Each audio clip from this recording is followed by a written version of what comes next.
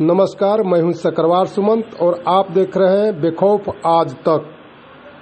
धरना प्रदर्शन में आशाओं के विरोध के कारण प्रदर्शन नहीं होने पर आशा कार्यकर्त्री ने अपने ही आशाओं को बताया बेवकूफ़। खबर जनपद गाजीपुर के सेवराई तहसील के भदौरा ब्लॉक से है, जहाँ आशा कार्यकर्त्री सामुदायिक स्वास्थ्य केंद्र भदौरा पर धरना के लिए इकट्ठा हुई थी, जहाँ बाहरी हस्तक्षेप के वजह से आशाओं में हंगामा की स्थिति उत्पन्न हो गई, जिसे प्रशासन को भी मोर्चा लेना पड़ा। प्रशासन के हस्तक्षेप से आशाओं को भाग, भगाया गया। वही धरना नहीं होने से नाराज़ आशा कार्यकर्त्री ने अपने ही आशा पर आरोप लगाते हुए कहा कि ये सब बेवकूफ़ है। अधिकारियों के बहकाव में आकर के आपस में मतभेद की है।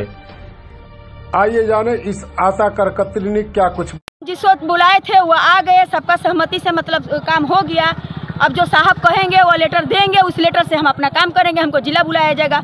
जहाँ बुलाया जाएगा जा करके हम अपना बताएँगे वो लोग जो कहेंगे वो होगा। किन मुद्दों पर आप लोग की रार चल रही है? राज हमारे मानदेय पर थी कि हमारा भुगतान सही ढंग से नहीं हो रहा है। इसीलिए ना हम कहते हैं तो हमको लोग बुरा बनाते हैं कि ये मतलब बहुत बोलती है। आ, आप ही के आशा में दो पक्ष हमारी आशाओं को मतलब देखिए दो पक्ष की अब हम क्या बताएँ? यही तो नहीं पता है कि क्यों मतलब लड़ाया जा रहा है। हमारा खुद आशा बेवकूफ़ है कि दो पक्ष में होकर के लड़ रही हैं। ये नहीं जानती कि अधिकारी किसी का नहीं होता है। आज है यहाँ है, कल कहीं और जाएगा। अपने क्षेत्र के तमाम छोटी बड़ी खबरों के लिए जुड़े रहे बेखौफ आज तक से।